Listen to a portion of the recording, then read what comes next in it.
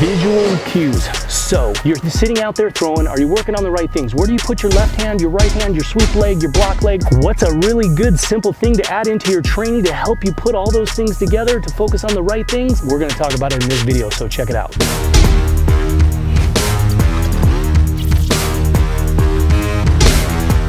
Everybody, it's Eric Johnson from Arete Throws Nation, and in today's video, what we're gonna talk about is visual cues. One of the things, if you look through our videos and we're trying to help more people understand the sport, and a lot of times we get in the ring and we just throw. And one of the things we talk about constantly is throwing's critical and you do need to throw a lot. Throwing is unnatural. The positions, how we move out of the back of the ring, all the things we're coordinating. These things take years and years to develop. It's super critical to understand that if you just get in and throw, the results are typically going to be limited. One of the things that we do want to do when we throw is we want to start thinking about visual cues. And so today what I have is set up and you'll notice I'll have my clock down and you're going to notice my red cones basically represent my core positions on the clock. 12 o'clock, so what we refer to as pillar one and two, they start here in this position, in this location. So one, two, 12 o'clock represents pillar one, two. But then we have our nine o'clock, six o'clock, three o'clock. And so we have these small cone sets. And what we do is we want the clock marked out with the red cones, and then we want the colored cones to represent visual cues. So if we're gonna be working on the sweep leg position, so here's an example. We have our sweep leg. And again, some people say to sweep out here. We always have advocated sweeping out and so we're getting the sweep leg to go wider, longer. Again, a chain reaction. If we set a longer path, we're going to have a longer path through the throw. If we start a little bit shorter rotational path, we're going to have a shorter rotational path. So the idea here is to have cues. So we would, where would we put our left hand and our sweep leg? And one of the things is like, here's a green cone. We want a visual cue for where do we want the entry arm as we come around. We want to be careful. We see a lot of kids cutting in.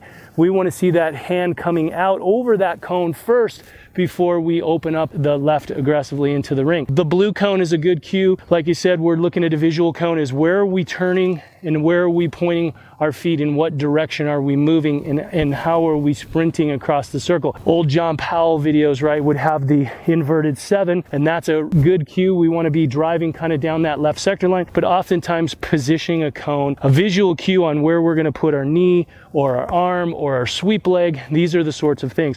When we want to get our throwers to understand how we're going to enter in and where do we push the foot, we can put a cone inside. And let's say we want to have our athlete turning our knee to this direction so we can feel that kind of loading motion into the ring. So again, just a really simple video to help a lot of you guys out there. If you're looking to add something cheap and kind of good and a visual cue into your workouts, click the link below. We've got some information on how you can grab a cheap set, these things. Okay, so basically the point of today's video was to really help you guys understand that visual cues are super important to help you put together your throwing. Again, where's your sweep leg? Where's your arm? That's why this sport is tends to be complex. Once you learn the system, that's the whole point of the throwing chain reaction system. We're trying to help you have that vision to see the throw so much faster, see those two seconds, learn what you to do. The six pillars show you what to do at every stage of the throw and pillar connection again is putting that together and our system breaks it all down so that you see it quickly and can apply it and learn faster. And then when you add coaching elements into your program like this, visual cues to help you see and understand positions, where's the left knee, where's the sweep leg, again, entry leg, block arm, where all these sorts of things, visual cues are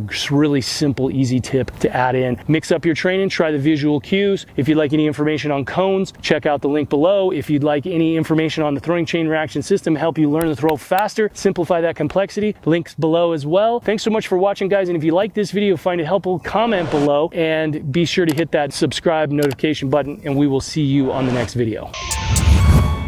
Everybody, it's Eric Johnson from Arete Throws Nation, and in this video, we're going to talk about real quick are the use of our drill cones for training. Now, this was something that